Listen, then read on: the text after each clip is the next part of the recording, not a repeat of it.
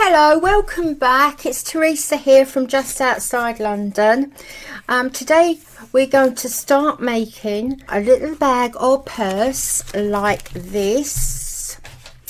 And our inspiration is going to, to be taken from a magazine, in fact this magazine. And we're going to reduce some flowers to basic geometric shape of circles. I want to just undo this so you can see a better picture. So this is what we're going to be working on. Fully lined as well and functional. But before we actually make a start on that, I've got some housekeeping to do. And I'm going to say hello to some new people and to some now regular people. Big hello to Kathy Hewitt, Hanny Ram Rami, Ninja or Ning, Ninga Graham, and I'm really sorry if I've mispronounced that. Georgia Piazza, Carol Lewis, Jenny Sutton. Blessings to you, Jenny, and thank you for a very nice comment. Surface of Beauty, Kathy Spalding, Cynthia Black. Cynthia, I'm so pleased that you approved of the Frida project because that really was all down to you. That was a comment that you made, married, with something I was already researching, and um, you were actually the push the push I needed so thank you for that Cynthia because the, the um, response has been really really wonderful all praise to you Cynthia Chris Jagger Hello, Chris. Patricia C. Clark, a fellow art teacher. Patricia. Teresa Singranelli. Hello, Teresa. Um, I always look forward to your comments as well as everybody else's. And yes, we will definitely have tea at the Met. Marcy JLo Vallum. I'm pleased that you enjoyed the Frida tutorial, Marcy, and thank you for your comment. Maureen Deacon, you mentioned that you have a slight problem with your sewing and that you felt that um, by me saying no right or wrong it was really freeing. And I really appreciate that comment. And I just think that's lovely.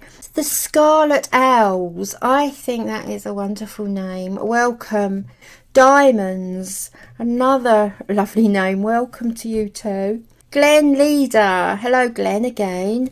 Um, I had to laugh with your comment on Frida that you think she and I would have a lot in common. Um, please read about her personal life. The only thing that Frida and I have in common is our facial hair and our unibrows. So um, that did make me laugh. That really made me laugh. But anyway, Glenn, thank you for commenting. Hello, Raina, Raina Sean and I'm pleased to hear that the stitching is impacting on the movement in your fingers. I think that's wonderful. I did teach in therapeutic education for many years and I do know that practice it does that actually make perfect and that goes for helping with um, uh, physical impairments to your fine motor control it does actually help so well done Raina please keep me posted on that welcome to Sandra or Sandra Ives Hawks Roost book. Now, I hope I've pronounced that properly, but that is wonderful. And is that Roost or have I mis I've mispronounced that? Paula G, welcome. Sharan Simpson, Christina Um, I'm pleased to see that you're still working on the journal from last year and you're now at page four. Well done for carrying on with that because that really is a marathon task and I'm enjoying your update, Christina. Good luck with the rest of it. Believe me, I needed the good luck when I was doing it. Kent Duncan, thank you for your comment as well. And I did actually take your suggestion up and I did look at smazoos.com about promoting the channel. Thank you for that very much. Deborah Detour and Bitter Spice One, welcome. Now we're Kath Avalon. Hello, Kath. Always nice to hear from you too. And I laughed at your comment when you said your boys were Mission Impossible and you had your earplugs in while you were doing your sewing. I could just see that. I've had young children too. I'm assuming your children are young. I hope they're not in their 20s and their 30s. but yeah, um, I've had young children too, and I've done all sorts of similar things, so that did make me laugh. Hello to Pam Frank. Thank you for your comments. The same with Creative Divisions and Joan Smith. Frida Watson. Oh, you're new, Frida. You should have joined us with the last project. We looked at the work of Frida Kahlo. So um, welcome, Frida, anyway. Azu Blanca, Gloria Orozco. Very nice names there. Terzarin Cole. Terzarin, you mentioned about uh, having a shop and putting fabrics in there. Yes, I have got an Etsy shop and I haven't stocked it yet. But as always, Terzarin, it's nice to hear from you. I'm never sure whether I pronounce your name properly. But um, yeah, it's something I have thought of. I have lots of fabrics here that I could easily do that with. Watch this space, Terzarin. Railing, hello. Ref Ruginini. Um, I hope I've pronounced that properly. And you mentioned the cocoa dyed paper. I'm so pleased that some of you are still doing the cocoa dyed paper it's a lovely thing to do. Carol Bogdan or Bogdan, and you said that you feel that I'm talking to each of you. Well, actually, I do have a mental image in my head of a friend, and when I do this, I'm, I actually feel that I'm talking to that friend. So it's funny you should pick up on that. Um, Angie, Angie Ratui, Ra, Rahui, uh, you did the sewing tool roll inspired by Russo. Thank you for your comment. Like to know if you've actually tried it yet. Now at the moment that is where we are with the new people and welcome to you all. It's lovely to have your comments and to my old people thank you for coming back and supporting. So on that note, we're going to move on. Coffee time, maybe a biscuit, sit, and I hope you enjoy. This is our inspiration for design. It's from a local nursery from their catalogue. I was lucky enough to get two, one through the post, and I actually picked up one uh, from the nursery itself. And we're going to use this page here together with this page same pages. The flowers are petunias and they're very, very lovely. So we're going to use these. And what I'm going to do first, I'm going to match these two. I shall cut the two out and join them like so. We have bigger area to work with. These two halves here match. If I push them together, they, they could match and form one complete flower. So this will be our inspiration. This particular piece here, I will join that and then photocopy it, make it easier to work from. We're not actually going to use the flower in their naturalistic form, as you see them here with the petals. We're going to reduce the shape to its basic geometric shape, which is the circle they're very circular. So the petals and the dips here will be rounded off into circles. Now you might think, well, why not just use circles anyway? We're not just going to use the circles anyway because we want to be ins inspired by the total picture the picture in its totality if you like we want to be inspired by the light and the dark areas you've got dark areas here light there we want to be inspired by the colour, the bright colour, the white, which sticks out from the deep red and almost the black of the centre against the dark colours here. Also, we want to be guided or inspired by the size of the shape. We have large shapes here, lovely big large shapes, against the smaller shapes here if you see that. Now don't forget these are design principles, the contrast between light and dark, colour and shape. So this will form the basis of our design. Now I'm just going to show you something. Now this is from my notebook, my sketchbook if you like. Now these are not flowers but this is similar to what we will be doing with our flowers. Now this came from a cluster of fossils. Now it's a fossil formation and it's very very similar if you look. Now this was done some years ago but it is very similar to this, to the petunias here. If you can see we have areas of light and dark here like this. And even the lines on the fossils here are like the lines here on the flowers. So this was the actual what I say was taken directly from a cluster of fossils.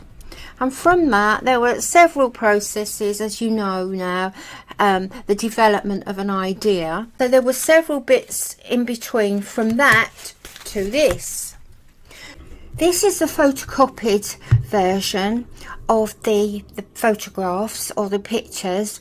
And what I did I've enhanced it slightly by making it larger and also playing around with the colour on the printer to pick out the areas of dark and light. And it just highlights the areas that I think I might keep dark and I might have liked. Now, it is a lot bigger, so I'm not sure about the size. I think the size might be too big for what I'm going to do with it. Now, from there, managed to find a dish that is the size I want. So all I'm going to do, a nice strong piece of card. It actually had some sort of Indian wraps in them. Now, and a draw around it. Now make sure that your piece of card has a border on it like this and like this. This is too narrow for what we want the, to use this bit for because we don't want to throw this bit. We want to keep that and you'll see why later. This is seven and a half inches in diameter, which for my purpose is ideal. You might want to make one smaller or one larger. It's entirely up to you. This will be cut out. Keep this bit, the bit around the edge. We want this frame, but this is the piece we're going to work on for the time being. Now, for me, that's just perfect. I'm just going to put that out of the way. I sellotape them together that is double-sided tape. It's holding them together.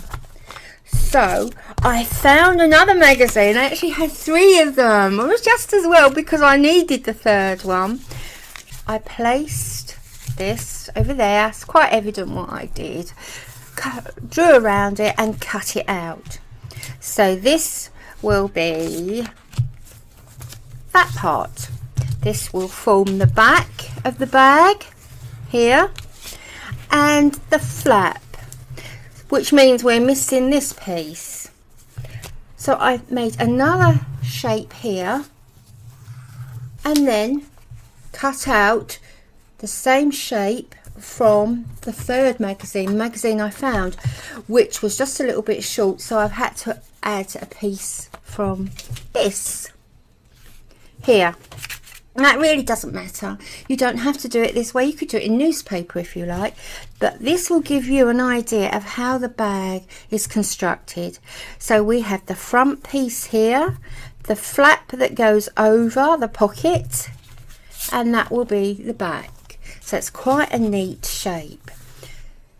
I'm going to put that to one side and show you the fabric that I have already decided on. This is what I'm going to use as the background fabric and I've went through my stash, my odds and ends and the rag bag and I immediately went for these colours and I thought no I'd already said previously that I was going to change the colours. I have decided on these colours. So now, let's go back to here.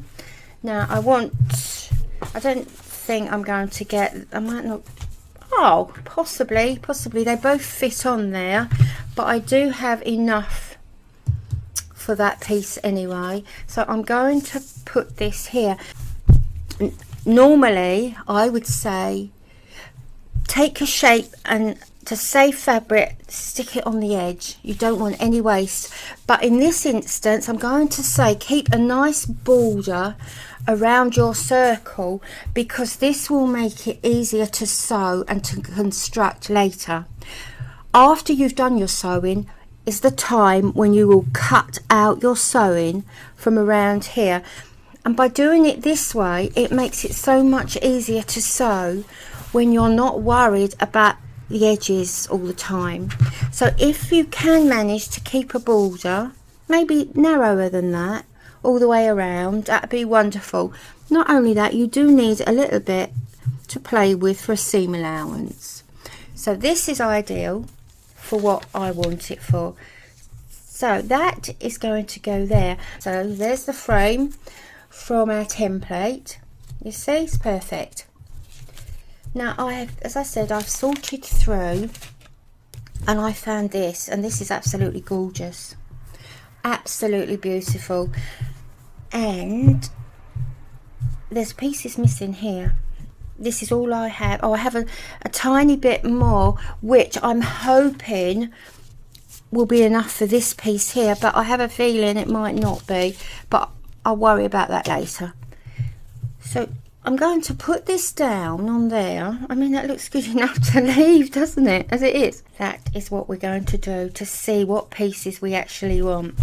Now with these pieces I'm going to put them under these holey bits. We're going to put them like that. And you can put any pieces at all under there that you want. You do it your way. Don't forget, there's no right and there's no wrong. So that's it. Just going to see what that effect is. So we have, I love this effect. Where am I here? Don't like that bit. Don't like that bit at all but I love these tiny bits that are coming out look as blue and little bits of red now let's see and the original background so we have the contrast here already between the dark areas peeping through here and the light areas and the lovely bold colors here the bright colors against once again the not so bright the background now this is going to go over there. And that's how I'm going to decide. Oh, I love that, that piece there. Look at that lovely red area there. I think it needs just some more dark blue showing. No, no, no, no. So let's back to the drawing board and let's try them again. I don't want to introduce too many colours here I think just the two will be fine. Um, I'll just play around with these a bit. Let's put that there. Let's put that one there.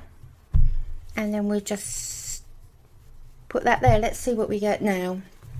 And there is a right and a wrong way to this lace. The right way is quite textured. Right, let's have a look here. I did want a large area of dark blue. Ah, so here we've got areas of dark blue. I quite like that big area there. Now this is beginning to look right yeah that is it exactly I think yeah I like that I like that. So this is all I'm going to do when it's time to put to use these down. I'm actually working out a sequence here, I've just realised. So this is the idea and that is what you're going to get on your purse or your bag, that bit there. Now, it's still too bright. It's too bright for me because don't forget we're actually going to be putting small circles on this that's just too bright at the moment so I've got some black netting here back net and what I'll do I'm going to cover up the piece I want like this there now that just tones down the brightness because I don't want the background too bright because it will fight for attention with the, with the circles that we're going to apply on top. Now that's fine, that's lovely. Unfortunately, unfortunately because I worked out a sequence, normally if I wasn't filming this I would just pin that, but I'm not going to do that. What I'm going to do is admit defeat, admit that I've worked out a sequence, move that along. But that is how to do it. That's what we're going to do. Now, we're going to find the back, which this is. That's actually the back. Doesn't actually matter too much, although the front is shiny. That, so that's the front. Now, on the back, as we normally do in our projects, going to put some calico around there for strength um, because it's a purse it needs to be just a bit stronger. Although this is a lovely strong fabric. Now I've already ironed the Vilene the interfacing onto the two shapes. There we go. That one there. And this one here.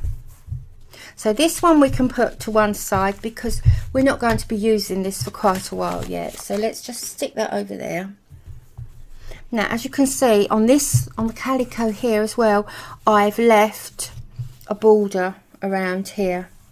So if you can spare the calico, then that will be ideal to leave that as well to make it easier to sew. It's going to give a nice firmness to this. Now what I will do, I'm going to pin this in place all the way around here to hold it firm. And then we need to define the area of the circle the perimeter of the circle. So I'm going to pin this. Hold it securely. You might need more pins. You might not need any pins at all. I think I just had a couple more pins here. Oh, oh my goodness, look at that pin. It's completely bent. oh dear me. Goodness only knows what I was doing with that one. And there. Now to get the circle on this side, the front side, what I'm going to do is just tack all the way around the edge just a single piece of tacking thread not not in the end. And just tack around here. Don't worry about the size of your stitches how neat they are. That's not the issue. However if you can manage to get your stitches along the circle, you'll keep that nice round shape. So I will carry on. You don't need to see me do this because it's now mind bogglingly boring and you've seen it all before. So I shall carry on and tack all the way around there. We'll just turn it over. There you go. Already you can see the edge and we will end up with a nice circular shape. So the tacking has now been completed all the way around the circle. And if we turn it over there it is. You can see it better that way. So we're not going to work outside of the circle. Let's just have a look. You see? Exact. It's come out really well. So the tacking's done. The next thing I did, I cut up these pieces into smaller pieces. I felt they were too big now to be contained in the circle. They were sticking out, they were too long. So I've cut them out a lot smaller and I'm just going to pop them down. Oh, that one's still a bit big. I might have to end up cutting a bit of that put that there and we'll have some more red here. And maybe something here. But I do want an area of dark blue showing through. Let's see how that looks. And I've also trimmed the lace to just outside the circle. Um, that's the right side. Really doesn't matter right let's have a look. Right I can still see the outline of the circle. Let's have a look. You know it's easier to look on the screen for the effect than it is to look down at the table. Ah, now we've got some nice big areas here, nice areas of red, red here again, and some nice areas of blue. Now we've got some navy blue there. I think I wanted a bit more navy really. Let's just move this red slightly. Oh, that's that's it.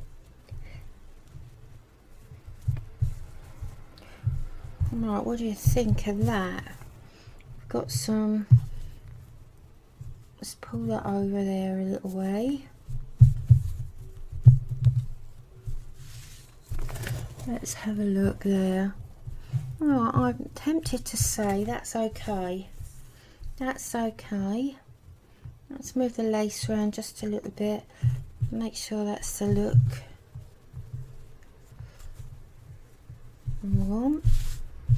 Alright, what's that like on the screen? Hmm. I'm not sure about this bit here. No, I'm not happy with that. Oh, that's better. That's better. So we have nice dark blue there. We have areas here. Need to pull that blue up there. Yes, some blue there. Let me have a look on the screen. Yes, I'm keeping that one. Let's just have a look there. Ah, yes yeah.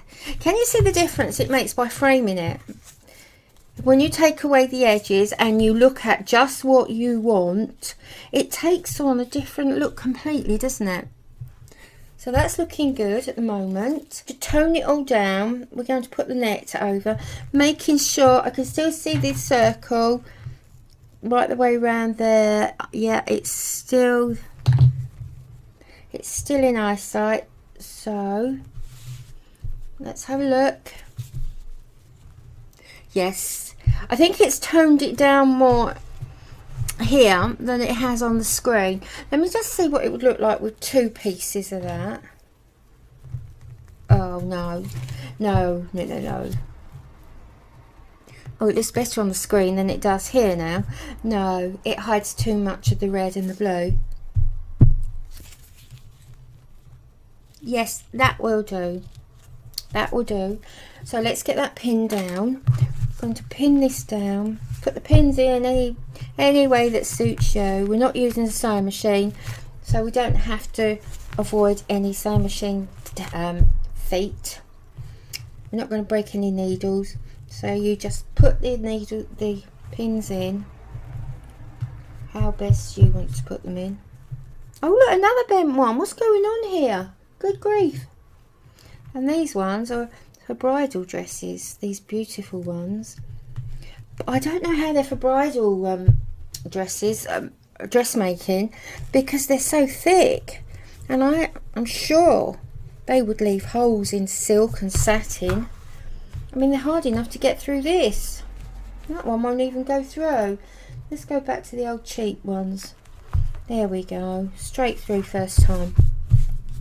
Not actually going to, to tack all around the shapes and all around the pieces. We're going to do it in rows. But also just going to go round the outside again here. Wasn't actually going to do it this way, but it's a work in progress, progression of an idea. So I'm going to do the tacking all the way around the edge again and then when I finish now imagine that I've just finished this. When I finished I'm going to come through to the front. I've actually gone through a piece there that I didn't want to.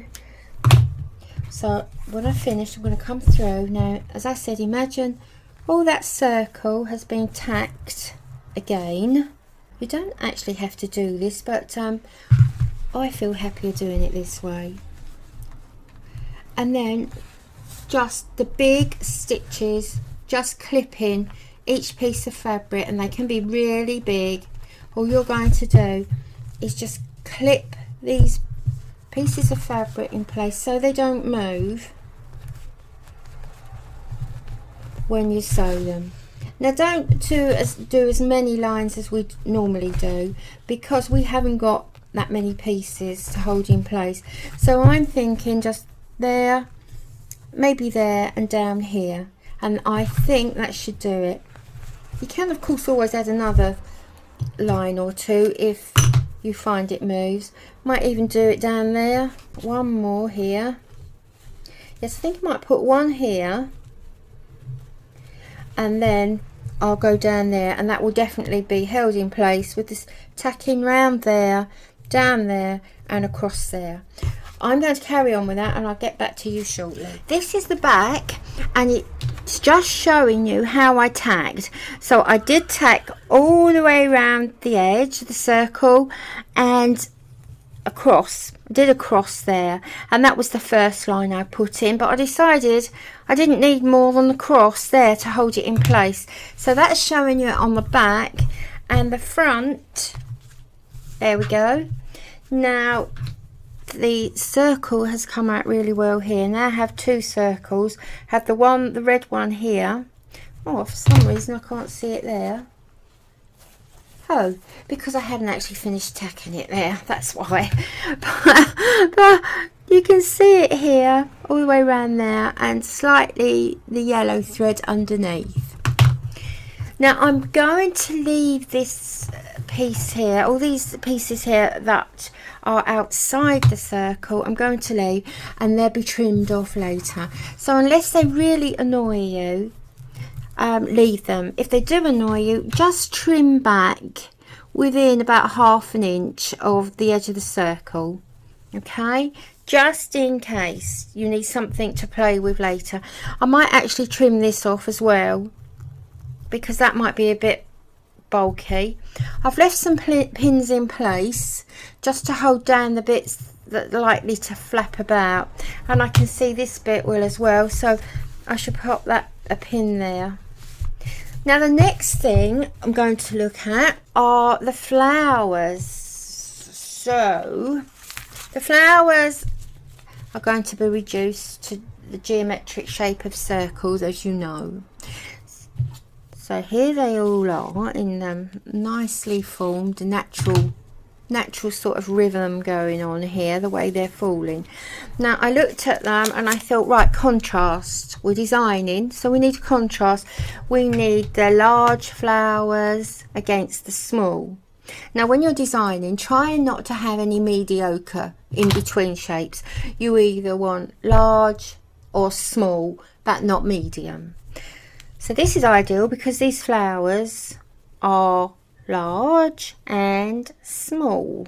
However, when you look at them in the garden centre, they all look the same. So I thought at first we'll have a big shape against the small one.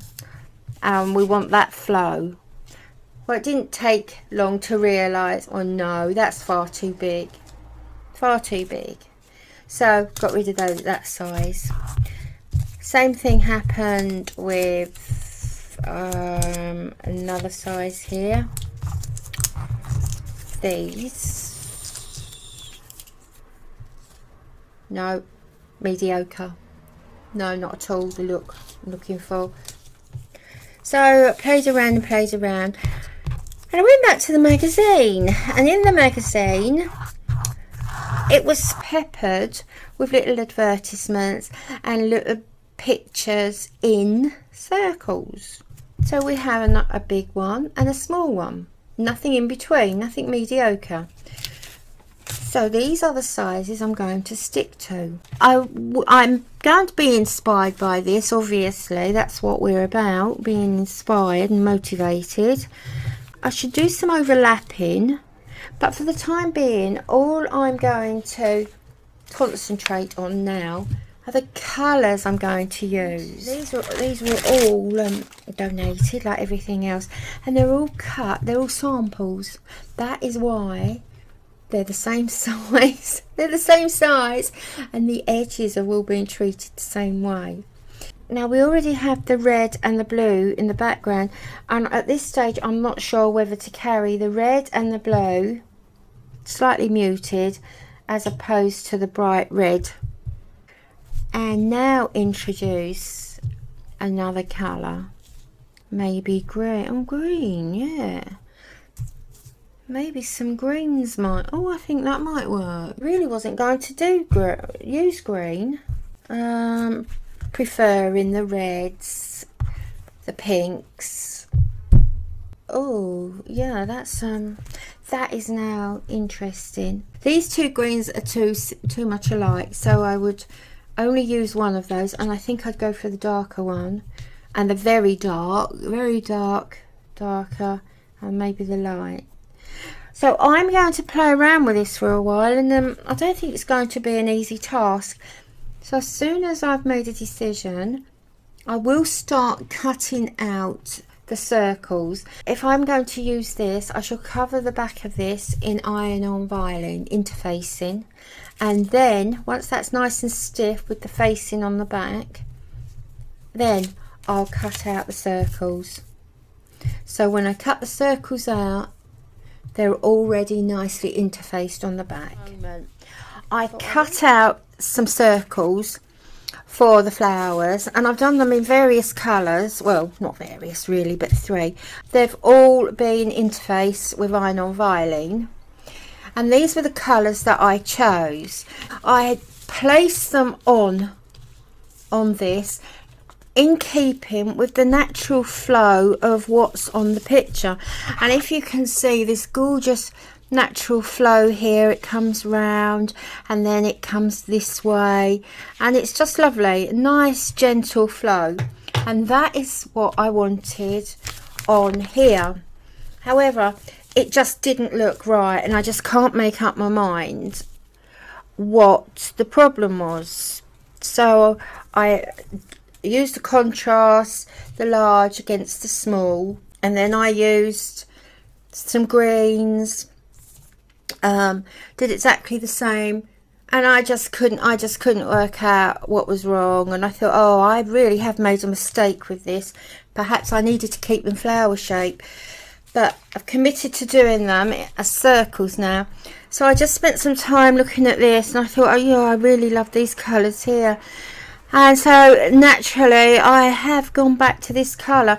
Now I've cut all these out and I think these are the colour this is the colour I should say that I'm going to use because it marries with the background here and we know by this colour and this colour together that it works so this colour should naturally work with the blue there and with the dark blue that's peeking out from different areas. I'm going to try and keep it, as I said, a natural flow. And I have sat and played about with it. I'm not totally in love with it, but as we've already mentioned, Therese, this is the rubbish stage, and you feel, oh my goodness, being dramatic in and in a Shakespearean voice to bin or not to bin. But I've decided no, no, we don't do stuff like that. We're going to plough on. So the contrast in sizes. Oh, that actually looks better on the screen than it does here. This is giving the effect at the moment of of poppies. If I put green stems down here and black centres, it would almost look like poppies. So watch this space. Goodness knows what we're going to end up with. Might not be anything like this. Uh, uh, oh, I'm, I'm really puzzled now myself. I'm looking at the screen thinking. I think, as with everything else, I'm just going to let it evolve itself. I've been inspired by this. Strangely enough, I've even gone back to the original colour. So that was the inspiration. Just going to let this evolve now naturally and it will be quite interesting to see what's going to happen. After seeing it on the screen and saying, oh look, poppies, that could be one way forward. Now before I carry on with this, oh look, the Vilene's come off that one. When you cut out your circles, don't throw the fabric that you've cut your circles from. You see these, the circles fit in there. cut them out there. And I've been left with these shapes, these shapes, and the same in green. You see the big green one there. So I've been left with green, yellow and what was that? A dark green as well. Now why I'm saying don't throw those because you never know you might actually need these. You see for instance the yellow there. Is that I'll, I'll change that colour because it's not looking too bright on the screen. If we were to cut where's my scissors? If we were just to cut along here that's very roughly then we can use that maybe as a flower centre. So until we actually finish our piece of work don't throw anything. That and then we could build on that with something like this. Maybe not for this piece of work that we're doing at the moment but certainly for something else um, and you imagine we could put a sequin there or a bead slow stitch around it. We could put some maybe um, leaves actually. We could even cut something like this. This is just sort of thinking off the top of my head. And it's probably making no sense whatsoever. That actually is resembling a holly leaf. So you could play around with it and see what you get so anyway anyway that's um i'm now getting lost in the realms of fantasy so keep those bits now I'm going to carry on and place these pieces just to see what I come up with. The circles have now been placed and I've tacked through them. Now as before in previous projects all I've done is just tack through each one. There's no need to tack right the way around it because it would take too long. So as long as you clip each piece of fabric, you'll be fine. And it is just to hold it in place. Looking on the screen, I can already see that there's there's too much of a gap around here. So I'm going to place those two there, I think, just to get more of a composition all the way round. So that that joins it all together and it's quite easy on the eye. So I'm going to pin those first and then I should tack through them. Oh gosh that's wow that's tough. I don't know if it's the fabric or the, the pins. So I'll keep those there. Let's just pop that over and look at the screen.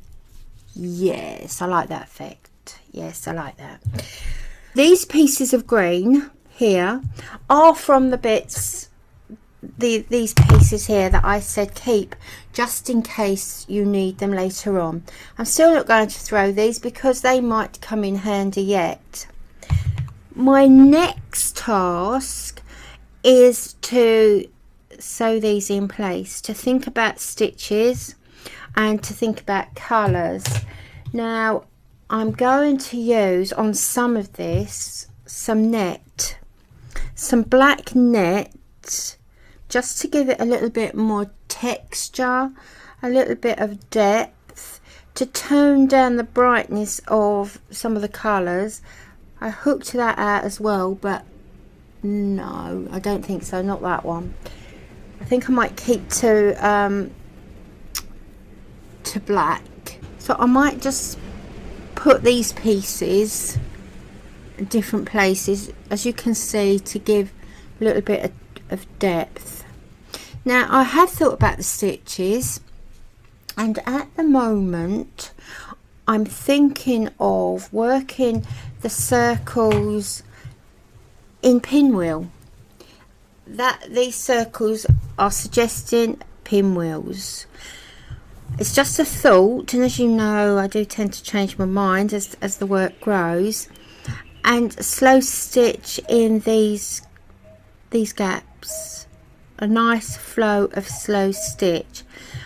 Not sure about the colour of the thread. I think I might like to bring that blue that nice blue forward to the front and maybe add some gold because I think the gold will go very nicely with these deep rich colours so that is where I am at the moment um, I did find this as well as I lifted up those pieces and I'm desperate to put this shape somewhere. So, so um, I might stick that shape somewhere. Oh, it looks quite good there, doesn't it? So next time you see this, that little moon shape could be sitting in there somewhere. Hmm. Yeah, I like that shape. Anyway, I'm going off now and I'm going to start um, playing around with places to put this. I might have to cut these up into smaller pieces. Um, yeah, that, that's quite a nice look. But yeah, I will cut these up into nice piece, um, sorry, smaller pieces. And from there on, I'll decide how the stitches are going to work out. So just watch this space and I'll be back shortly. I've just cut out some circles the size of the large ones here. I've cut them out in net and I'm just going to show you very quickly what I intend to do at this point. And with these circles of net I'm going to place them over some of the areas on the background. I've also sorted out the fab um, some thread and I'm going to use these um, like muted colours as well. They're not not so bright as other colours. So I've got that and I've got this um, and I've got a real pile here of messy colours. So these at the moment I'm intending to use those. I'm going to start with the pinwheels. Now what I will do is to mute those colours slightly and they might necessarily not be placed in this particular way but it's just to give you an idea. First of all I should tack these black circles in place just to hold them down and then I'll start with the pinwheels. And I will do the pinwheels the same size or the same shape as these large ones I'll go over the large ones. So in some areas when I do well most of areas when I do the pinwheels I will be going over the net as well as the whole of the large coloured shape. So that'd be quite interesting to see what result we get. So I'm going to start that now and hopefully that won't take too long. I think it's going to be quite a nice thing to do as well. A small update now just to show you how far I've got. I've started doing the pinwheels uh, for the flower heads and I haven't got very far actually just around here and a few there. But I wanted you to see how it looks as it progresses. It still looks rubbish. It's still in that rubbish oh shall I bin it stage? From there down but up here it's taking on a very different look. So this is what um, we spoke about going back quite a while now that please don't bin your work when you get to the rubbish stage and you think oh my goodness that looks awful. Not even going to try gonna rubbish it bin it and start again. I've got two things going on here. Quite a nice top bit there and then this horrible piece. Just bear with me for a while and you'll be able to see, especially the new people, how it progresses from this to that. These are the pinwheels here. This one here, well they're all overlap, but we'll just look at this one.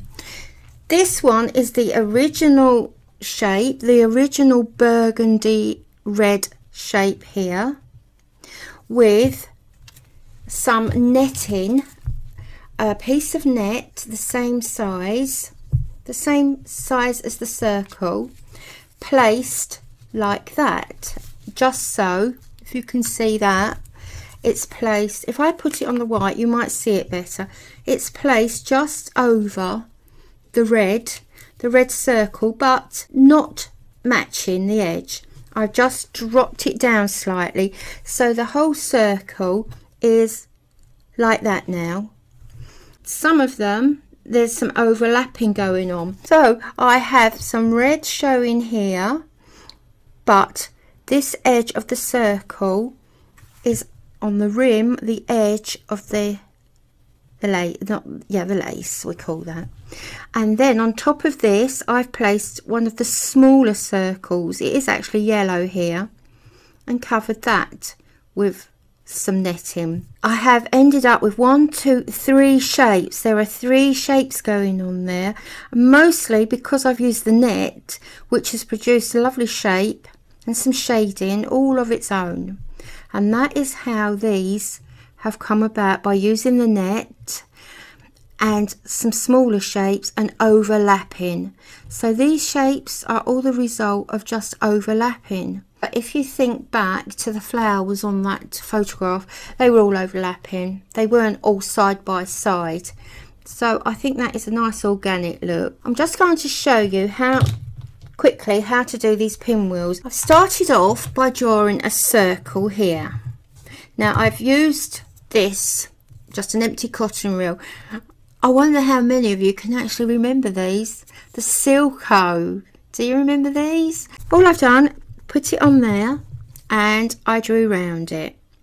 Now, it's okay to draw around this in pen on something like this, which won't be washed. as purely for decoration. But please, if you're doing this on satin, silk, fabric, something really, really um, important, please don't use pen. There are special crayons to use and special ways of marking um, like satins, fabrics that that are very special and you don't want to mark. Not only that, if you were to use a pen, even on a darker colour, on, on a piece of dressmaking, um, when you wash it, the pen is likely to run and bleed through to your colours, to your fabrics. So please, I'm using a pen only because this won't be washed. For this, I'm going to start on the edge here. Now, I'm sitting at an angle, so please bear with me while I do this. I have to twist and turn. So, nice knot, and once again, I'm only using the big needle with the large eye and the thick wool for demonstration purposes because if I were to actually do one of these very fine pinwheels on the screen you wouldn't see it and it would just be a mass of fingers and a needle. So it's easy to do this way and then you'll you'll get an idea of what I'm doing. Right so the thread up there.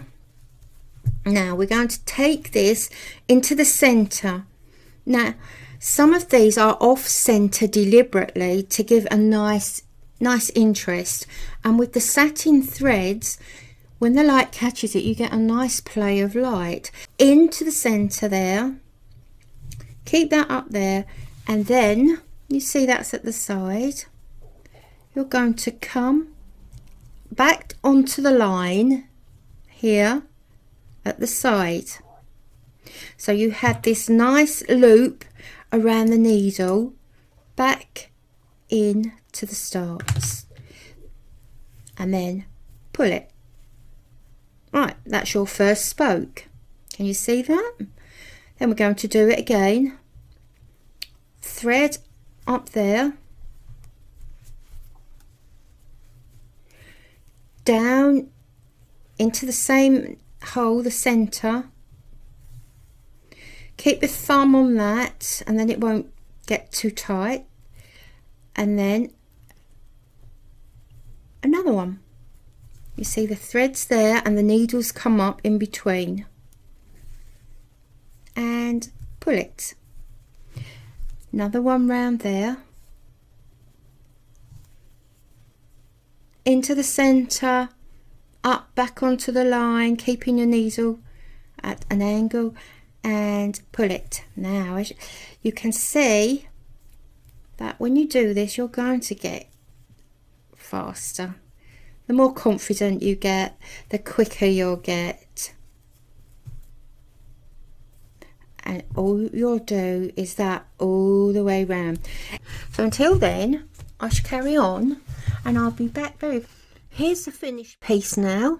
All the circles have been held down to the back on the background with um, the pinwheels um, there's quite a lot of overlapping and I think that gives a nice um, dimension to it. the black circles were overlaid and they've been secured in place as well. This this one looks a little bit alone there so I'm not quite sure whether that that one is finished or not I might leave it like that I might hang this up for a while and then decide whether I need to do something with this little fella here now these green bits here will be secured to the background when it's time to slow stitch. This is going to be slow stitched all the way round. So that task will be coming up shortly. But before then, I think, I think, I'm almost sure, I've decided to outline these in a darker colour. The same colour around them all just to unite them together, just to to bind them, to make a better pleasing, a more pleasing composition by, as I say, really just by uniting them with a common colour, a dark colour all the way round. And then I shall think about the slow stitch. At the moment, these areas are still standing out and they're quite prominent. You see the red of the background here and there and we have the blue poking through here and here. I'd really like to keep those. So that will be um, sort of thought about later when it comes to time to slow stitch it. So for now on I'm just going to outline these. I'm not actually sure what stitch to use. I might use a blanket stitch which is the stitch we've just done only much shorter tiny tiny short one.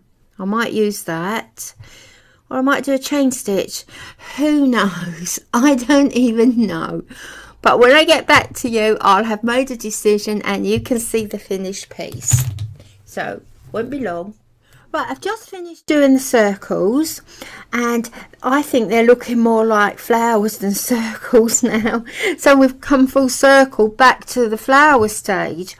I'm just going to show you how to do these pieces here and here where you have a full pinwheel. Oh, that's a good example as well. A full pinwheel and then a little bit of overlapping. We've got two pieces there of overlapping. It's quite easy and it's the same stitch that you've used for the pinwheel. So once again, a big needle, thick cotton, just so that you can see what I'm doing. Now this would be, this here, would be one of these pieces here, just jutting out from the circle. So if you see that's just jutting out from the circle here, from the pinwheel, all I'm going to do is pop it here and you can see it's now jutting out from the circle there. Or oh, I'll move that round a little bit. And as you can see it's the same effect just a little bit of it showing around the circle like it is here just showing around the circle. As I said the stitch is exactly the same. So bring your needle in from the back. And what you're going to do is just the same thing. Hold that with your thumb hold that down with your thumb. In to the bottom here of the, the piece that you're going to overlay or overlap the piece that's jutting out. And we're going up there the same way and we're going to pull it. So there you go first stitch. Thread over again. Hold it down hold it down there. In here. As far as you want it spaced and then up here. Oh I think I'm a bit too close to the edge. And in in there. Now the only difference is with these because it's just a piece showing like this just a little bit jutting out like this there's no centerpiece for you to take the thread into so there's no centerpiece here. So just do them a space space them just like you want to. There you go. And that is the effect on the pieces that are sticking out. Such a nice thing to do. Blanket stitch. This is the blanket stitch. We have done this before and it's probably on some of the this stitch has probably been demonstrated on some of the other videos. But there you go. And it's a bit scruffy there because I've run I run out of fabric. So that is how you do the pieces here. No secret to doing it. And there it is. I've also started doing the slow stitch on the green pieces this one's finished. Um, so is this one. This one I haven't finished just so I can show you. Now I'm not going to demonstrate this, the slow stitch because it really is just an ordinary running stitch um, like a tacking a big uh, tacking stitch is just a big version of it. And can you see that there? So all we're doing is just literally running along like that picking it up. No no secrets no big shakes. Simple as that. And I should just follow the contours all the way round until I fill that in as much as I want to. So the next thing I'm going to do after I finish that is start the, the slow stitching around these shapes. Now I've just been out to um, a big high street shop craft shop and I bought some beads. Oh my goodness they were quite expensive as well. I was a bit shocked. I bought some beads. I have lots of beads but not the ones that I've made my mind up to use on this. And I'm, I think I might just scatter some beads around here as well. That's another idea. That's just a, an, uh, an idea that I'm working on. But until then I shall carry on slow stitching around Contrast, these shapes. I've added the slow stitch here and here and here. I'm sure you can see the areas of slow stitch.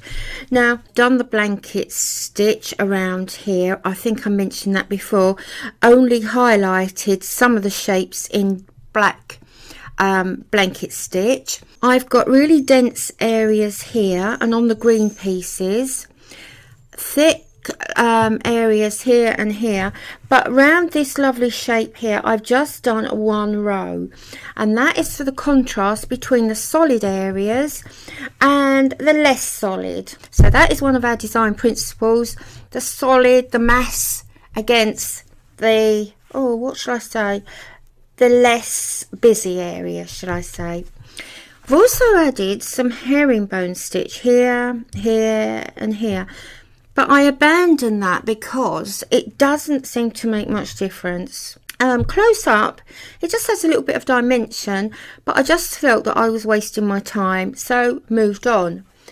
Now, if you look closely at the pinwheels, I'm just going to lift this up slightly. Right, if you can look closely at the pinwheels, I'm just going to move it about a little bit so it catches the light. Through the spokes, between the spokes I should say, I've added metallic thread. Straight stitch between all the spokes. There's metallic thread. Now I didn't actually have any. I found in my stash, look, this now if I move that around you can see there's silver thread in there.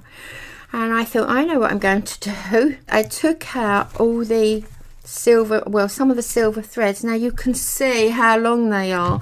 It was quite tedious. Each spoke took two to three of these pieces. My daughter came in and she said oh what on earth are you doing? And she said hang on a minute mum and she said, is this any good? Oh my goodness. As she produced this gold here. So that is why some are gold and the rest are silver. But I think it works really well. So I did this in straight stitch between the spokes it's straight stitch and then I looked at it and thought oh something's missing the progression of an idea one thing leading to another we never know with the progression of an idea where we're going where it's going to lead to well it's actually led me back to this. So we've gone from the naturalistic flowers to the geometric shape of the circles and strangely enough we've ended back at the flowers. I'm going to show you how to put the the sequins on. And as I say we have done this before but let's start with the herringbone stitch in case any of you would like to add the herringbone stitch to your sewing. And it's really really easy. Do it your way. If you're left-handed you'll do it one way. You're right-handed you'll do it another way.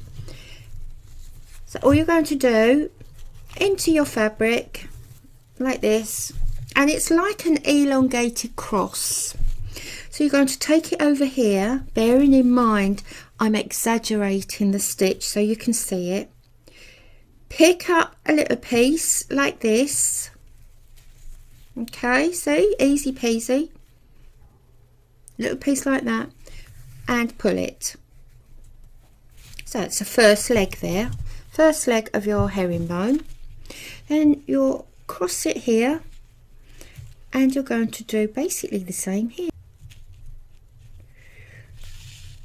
there you go see how easy that is it's very difficult to I'm doing this sideways again so um it's very difficult sometimes to get the sequence right. So here, see look, there's no secret at all to herringbone and this is possibly my favourite stitch. I probably say that a lot with all the stitches. There you go. Oops, we keep the needle that way. And this is a great stitch for adding texture. You don't have to keep them all the same size. You can make them fat, thin. You can drop them down here. You do what you want to do. You're going to tell it what to do. So we'll stick that over there. Now the spokes, the straight stitch. This is so easy. Right, there's our demonstration pinwheel. Just come up. You don't have to come up from the middle even. Make sure you don't pull the, the knot through like that. And it's as it sounds. Straight stitch. Along there. In there. There you go. I'll lift that up. In there. Here. And there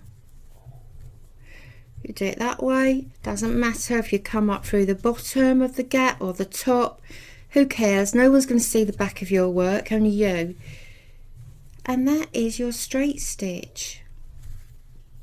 See how easy that is? And it gives such a nice effect. And you just carry on doing that all the way round. So that is your straight stitch. You could even I haven't done this on um, this piece of work but you could even go up there and do that all the way around between the gaps here. Don't forget that arc there are these arcs round here? There we go a straight stitch. I'm going to lift that up a bit not particularly neat but I'm sure you've got the gist of that. Now that's the two stitches. The sequin the sequins here some of them are flowers um, it looks like a star and the others are just regular sequins of different sizes to add interest so once again, I'm exaggerating with the needle and the thread. There's your sequin. You're going to hold the sequin like down like that and you're going to come through the middle. There are many ways of doing this. The main thing is you come through the middle at some point over the side like that. Now you can go back through the middle like that. And there's your sequin okay? Have a big sequin or a shape sequin like this this is a flower this one. There's a couple of flowers oh that one might be better.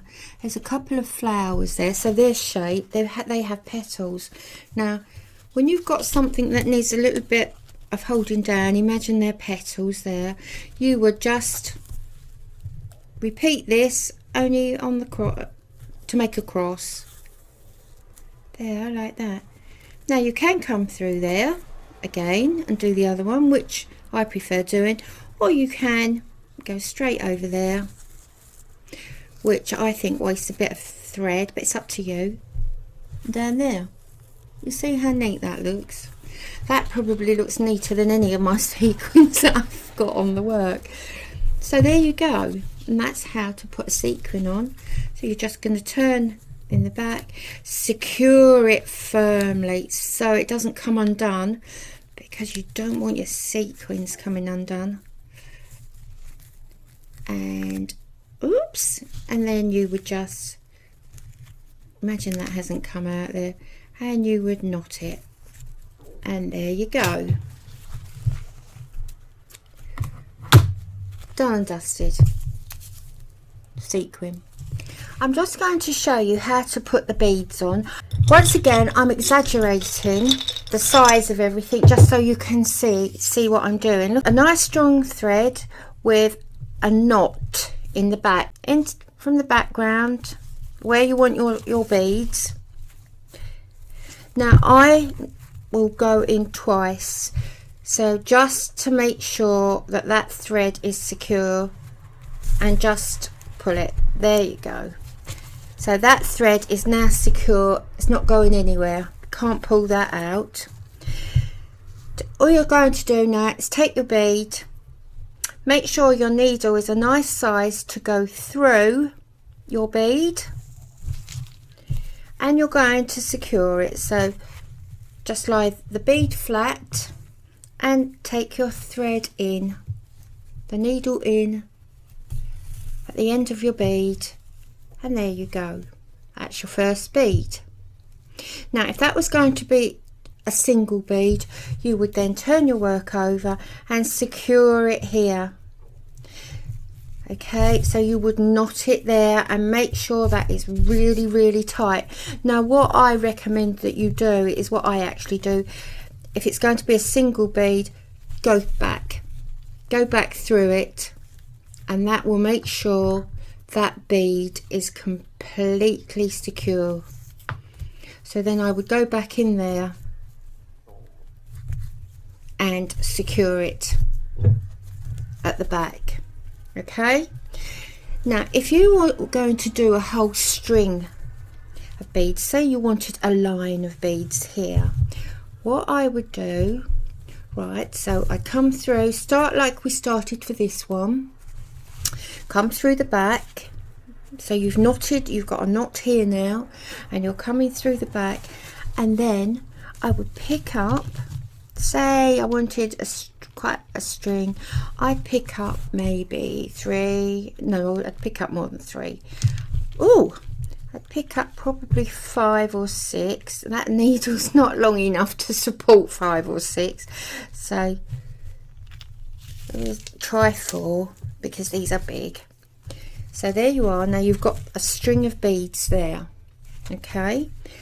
Now you're going to put them down. Wherever you want them you might want to curl them or you might want them straight. Wherever you want them. I'm going to have them at an angle here.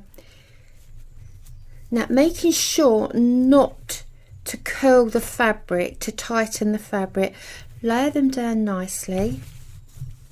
Like this. You see they're nice and straight. The fabric is straight underneath them and then take your needle in at the end of this bead so take the needle in at the end of the bead like this. And then you're going to go back on yourself. And between each bead where each bead meets and you can see the thread bring your needle up and then just cross over and back into the, fa the fabric. There you go and then do it the same same here. Needle up. Hope that's coming out on the screen. Needle up. Thread over the thread you can see between the beads and back down into your fabric. And this is such an easy way of pull it. This is such an easy way of sewing beads down. There you go over the thread in the middle and down. There you go. Now occasionally just occasionally I have gone right back through them but don't need to because we know they're quite secure. Straighten that up. We know they're secure nice and firm. They're not going anywhere are they? And then you just tie it off here at the back. Nice knot it's really important that you tie these off properly securely at the back so they don't work loose. There we are. And that is how to put your beads on. So I haven't got a beading needle. Now beading needles are specifically for beads. I'm just using an ordinary little sharp needle. It's quite fine I'm going to come start here.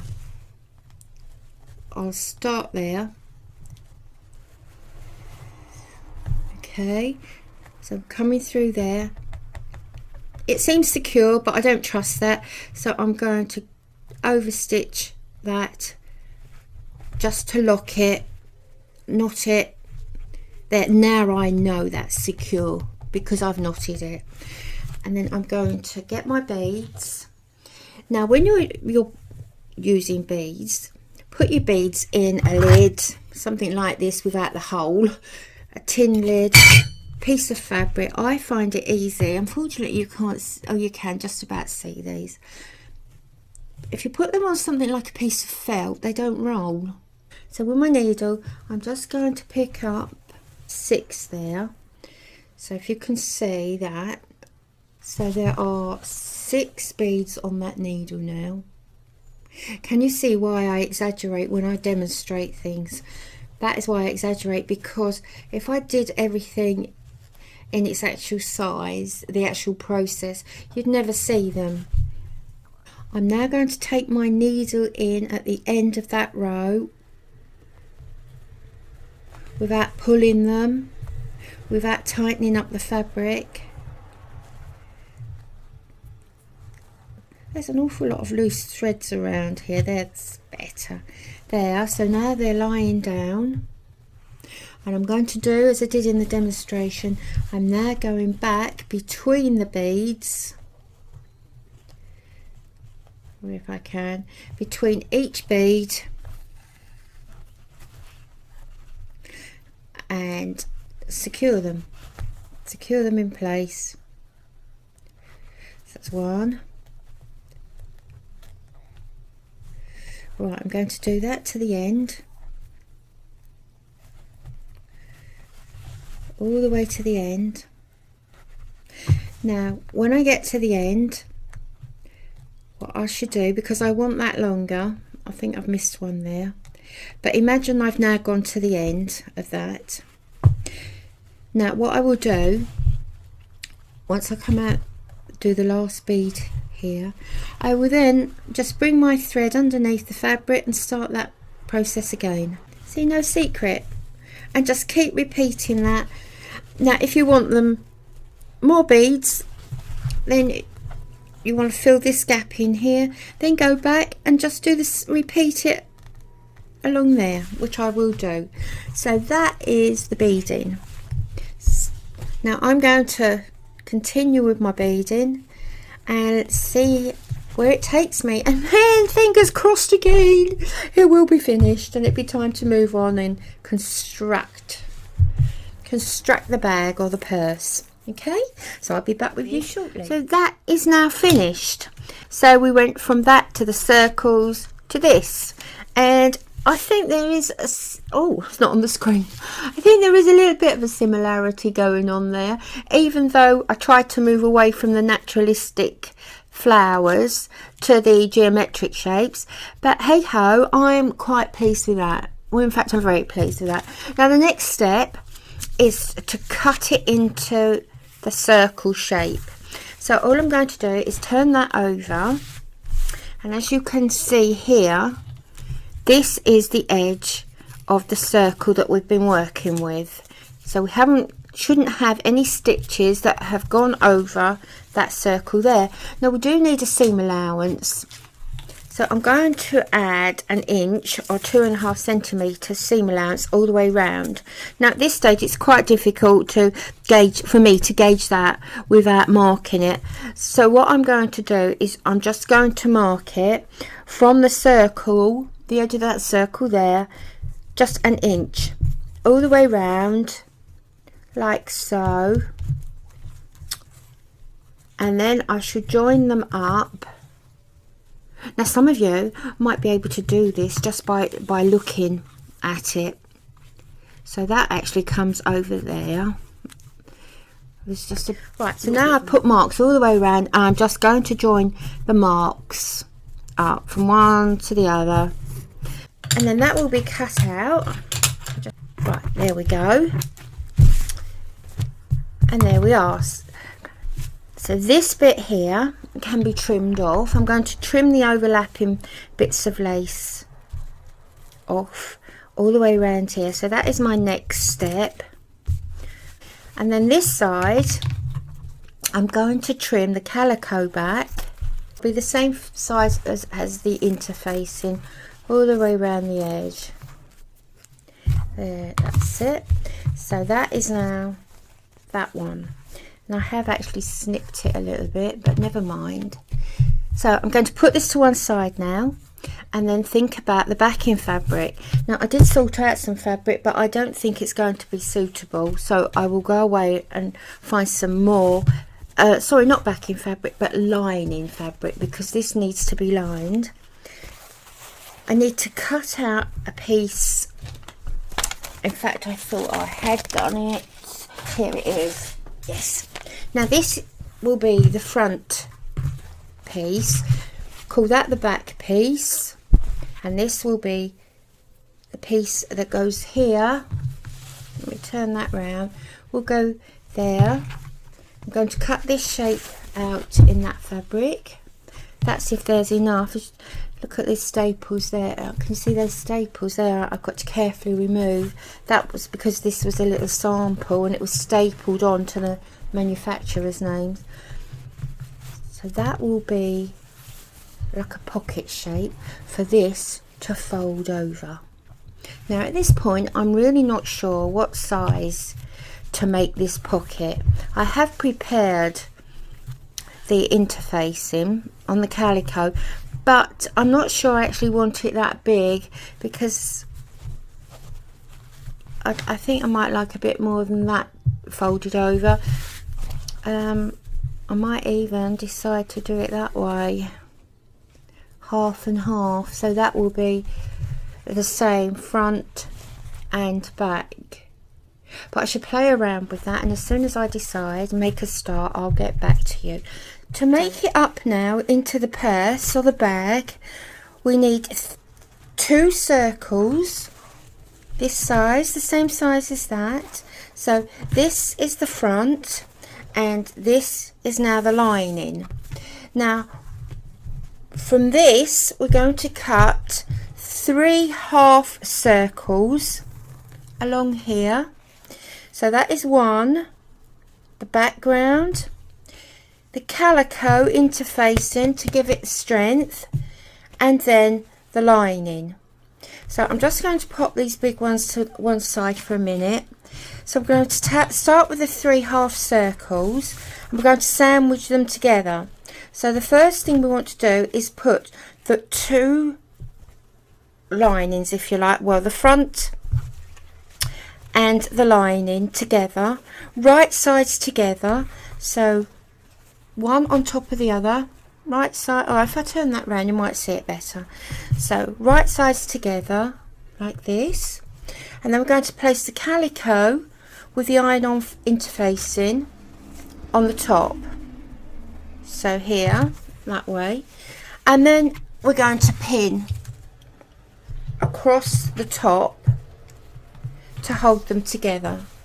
While we sew now if you feel more confident about tacking them. So tack them together first. So right the way across here making sure that they actually meet at the top here like I didn't then. So make sure they they all meet and they're all on the edge. There just need three pins on that one. And then I'm going to machine sew across here just trim off any excess here. And that will make it easier to fold over and press. So just press that along there. I can see I haven't gone too straight there. But hey ho it doesn't matter. So I'm now going to go and press this over here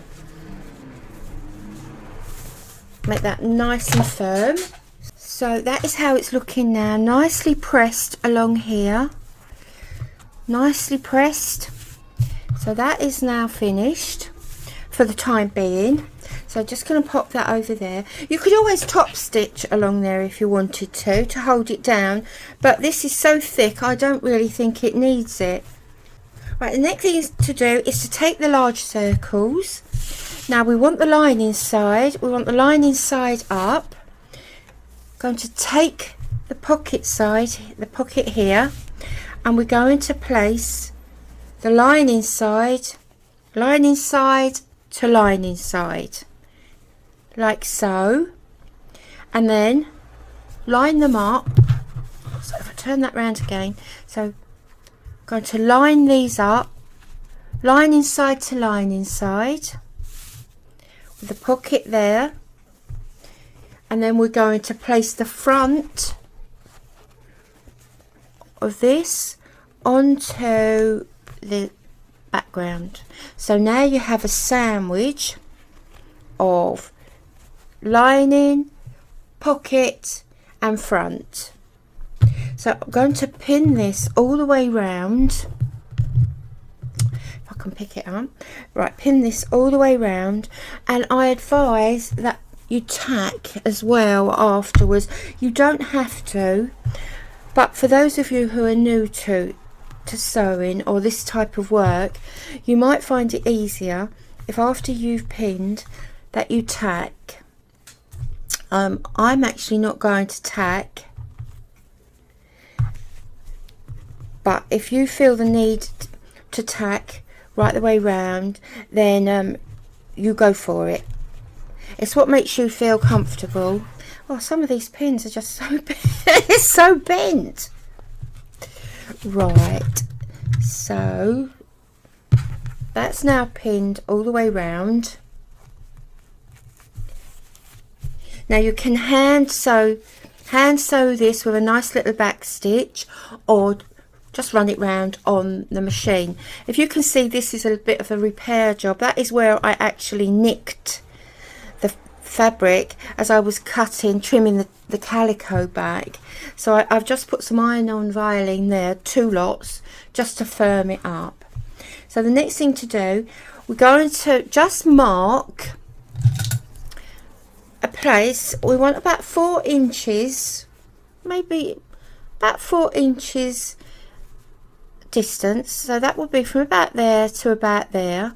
Now I'm going to start sewing at this mark right the way around here but stop at that mark. It's about a distance of four inches. Don't sew between these two marks. You need to leave that unsewn for pulling the fabric in to the right side. So I'm just now going to sew around here on oh, the sewing machine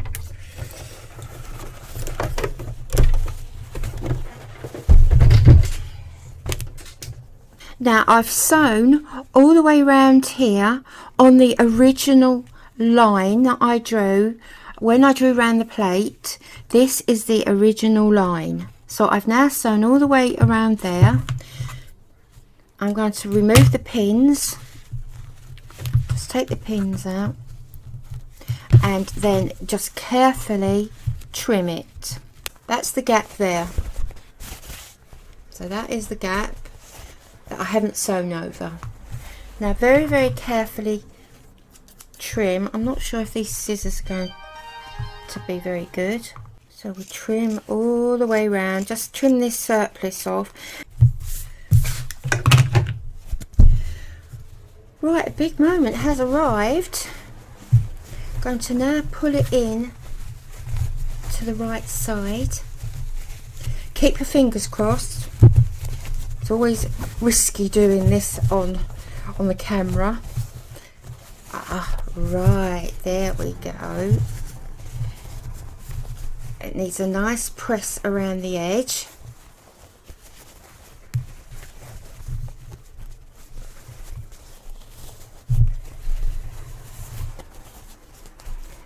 Right.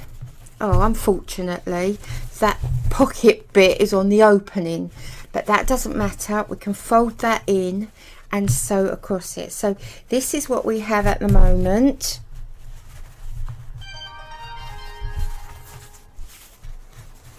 And that bit there will be folded in and hand sewn.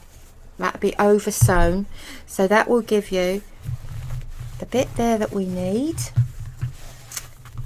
and then that will come across like so and that will be your purse. Actually I quite like it like that as well.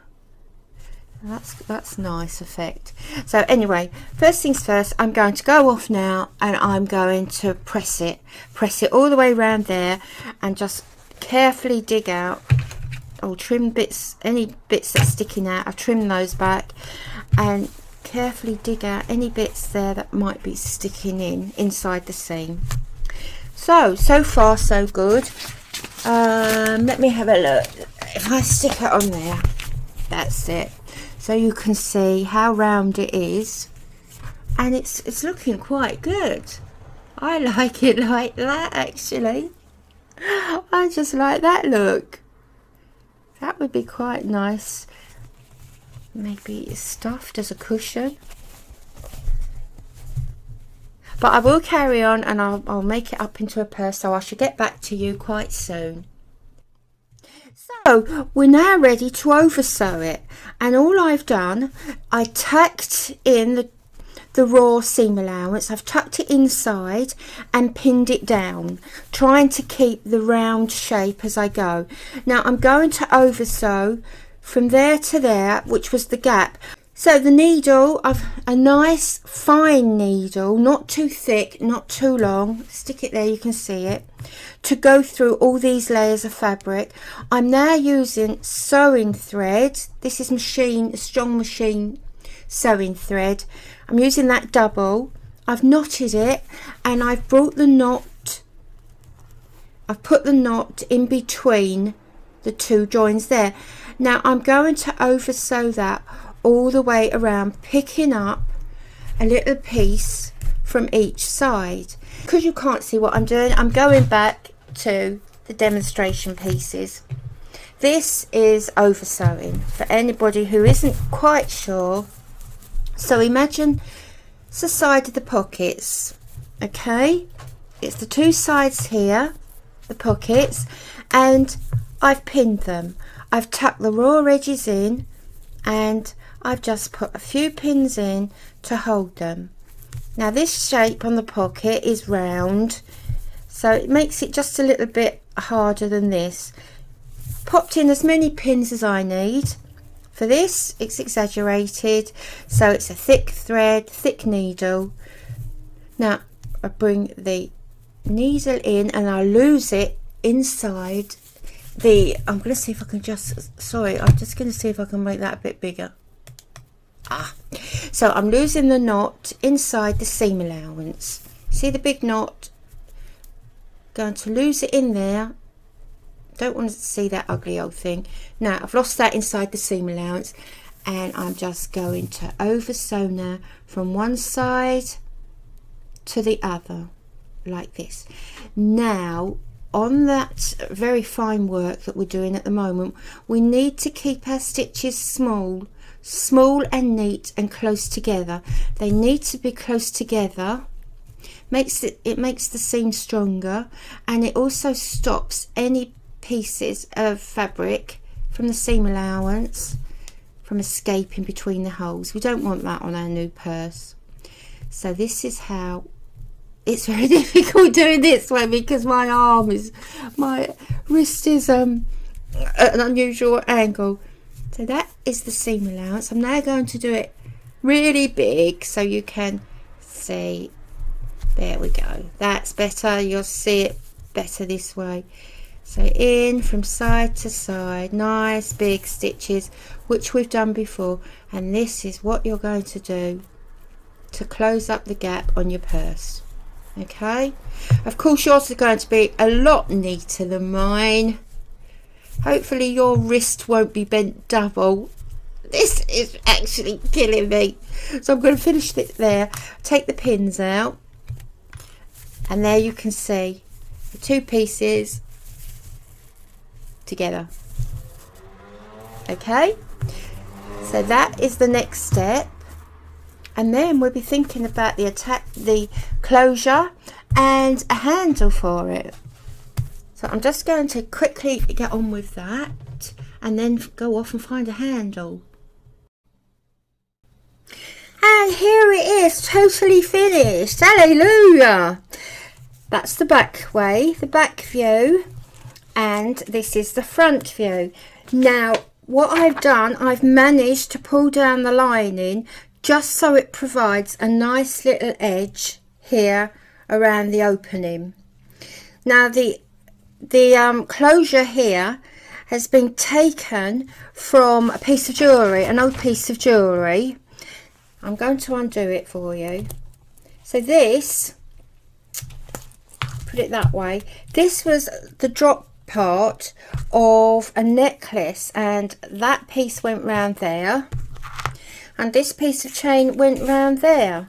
Well, I thought that would make a very nice closure, a very nice buttonhole loop, if you like, like a rouleau loop. So I just took the chain off and was left with that really lovely loop there, which I have sewn inside. I've sewn it down with just a few uh, strong over sewing stitches either side now I will lift it up but I'm not sure if you'll be able to see that there are so over sewing stitches in four places. At the beginning here here and at the end the same this side. Now I didn't really know what to use to close it with. Um, I looked at several things but came up with this little um, bracelet that I bought in a charity shop oh, about a year or more ago for something like 50p. There. That was on there as well and that fell off. And I saw the green. You see this beautiful green colour here. And I thought that would go really nicely with the green on the on here. Just as the pink here matches the pink oops matches the pink on the bag. You see that these pinks these colors here match lovely with the colors on here. Now I keep calling it a bag but as you as you've noticed it is actually a purse now. So I took the bead away from the bracelet took it off and that one just fell off and I've sewn it there. Now it closes just lovely. There you go quite secure it's tight. It's just lovely. So all I did was to, to secure what I'm calling the button loop was to find the center of the lap the flap here. Find the center and place each side of the loop either side of the center. So the center of here is actually there. So either side I've secured the loop the stones. So that is that. Um, I was going to put a strap on it but I decided not. I found these as well. I have a, a drum a small drum so high full of broken pieces of jewellery that mostly my daughter and I have saved from the the charity shops.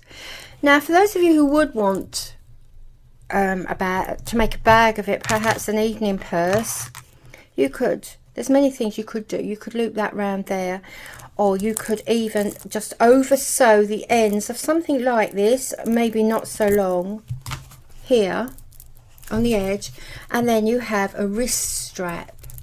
now that's entirely up to you that's entirely personal I don't want that on mine however I did find this I did wonder about this another chain rolled gold but it's quite strong and that's very pretty. I did wonder about maybe attaching that at one side just so it drooped down.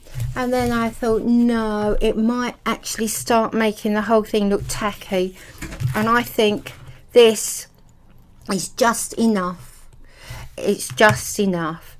So there you are. That is finished completed. Now what I'm doing with mine I'm going to use it as a little travel a travel pack. I think I've explained before, um, my daughter and I do quite a bit of travelling over Europe and it's always nice to have something pretty to have your sewing things in. And this is the sort of thing I'm going to carry in mine. Oh look. That's coffee. That's okay. I can use that. Little piece of Aida, an assortment of sewing needles tacking thread just for the edges. Need um, nice sewing uh, oh, scissors excuse me it's been a long day. Scissors and some threads. And there will be a pattern in there at some point. So that is what I'm doing with mine. It didn't start off this way however. It did start off as quite a nice little evening purse. It's up to you now and I'd be very interested to know how you get on with yours. So, a little recap in teaching terms. We went from the magazine, and I've taken the name of the nursery off it, away from it. So we went from the magazine to picture, doubled the picture. That's two of those. Um, let me see, two of those, and then joined to make quite a nice picture like this. Although you could if you wanted to photocopy it and cut it up and arrange that as you wish to. So from basic magazine nice coffee time read to oh that looks nice. I'm going to use that to playing around with it this to that. And that is what we call a progression of an idea I think you've all got that now haven't you so if you did like this, please give it the thumbs up. That's a big tatty thumb. I'm ashamed of the nail varnish, so I apologise, but that is the chlorine in the water, in the, the pool that's doing that. Not my pool, the council pool. So, um, and it's very strong. They've actually doubled up the amount of chlorine, apparently, because of the COVID. So if you do like it, nice thumbs up for me please if you don't mind. If you don't like it just switch off. Okay? Take care everyone and i'll get back very shortly with something else. Okay? Take care now. Keep safe